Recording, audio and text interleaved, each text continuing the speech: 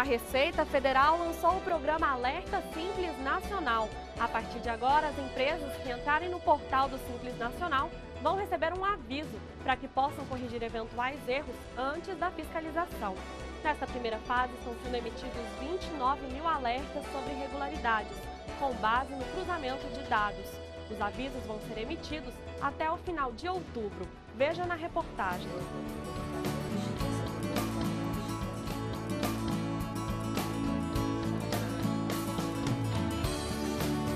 Receita está instituindo uma nova forma de relação fisco-contribuinte com os contribuintes do Simples. Os contribuintes do Simples são contribuintes que não têm uma assessoria, uma consultoria como os grandes contribuintes têm.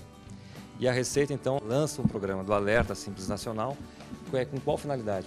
Tornar para esses contribuintes uh, transparente a, a, divergência de informações, de indícios, né, entre a informação que eles declararam para a Receita e aquelas informações que a Receita coletou com um terceiro.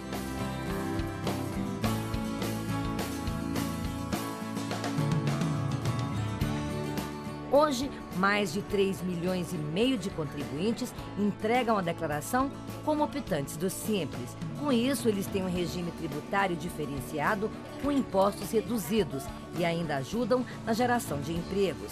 Mas para poder ter esses benefícios, os optantes do Simples devem estar em dia com a Receita Federal.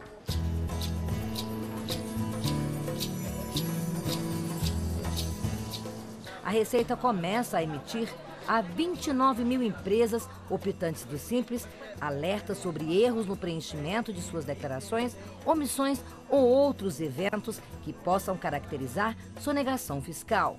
Para chegar a esse número, a Receita cruzou dados do Sistema Integrado de Administração Financeira e de Movimentação de Cartões de Crédito. A diferença entre esses dados chega a quase 6 bilhões de reais. Mas antes de multar, ou punir essas empresas, a Receita Federal vai dar uma oportunidade do contribuinte se regularizar. E a ideia qual é?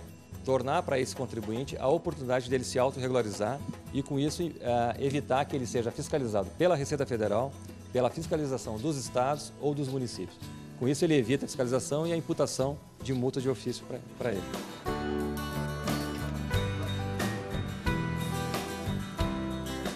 Receita adotou essa estratégia porque ela tem uma estratégia diferente para contribuintes grandes, médios e pequenos. Né?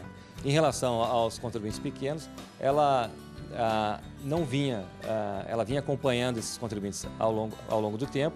Esses contribuintes eles são ah, optantes desde 2007 e ela optou, em vez de sair fiscalizando e que poderia gerar autos de infrações muito elevados e talvez até levá-los para a informalidade, resolveu, antes de fiscalizar, dar uma oportunidade que eles possam se autorregularizar perante o fisco.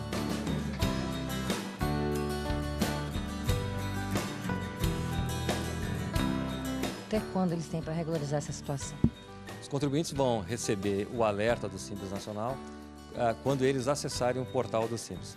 Toda empresa optante do Simples Nacional para gerar a guia de pagamento dos, dos, tributos devidos pelo Simples, ele, ele tem que acessar o portal do Simples. Então, quando ele for gerar a guia do mês de setembro, ele já vai receber o alerta. A hora que ele for entrar para gerar a guia de outubro também, o alerta vai, vai estar, ele vai receber o alerta. E a, aqueles contribuintes que não corrigirem essa situação vão ficar passíveis de serem fiscalizados pela Receita, pelos estados ou pelos municípios a partir do dia 1 de dezembro deste ano. Nós vamos monitorar o comportamento dele uh, através da declaração que ele retificar e se ele não retificar, nós vamos acompanhar esse movimento através dos nossos sistemas de seleção, dos nossos bancos de dados.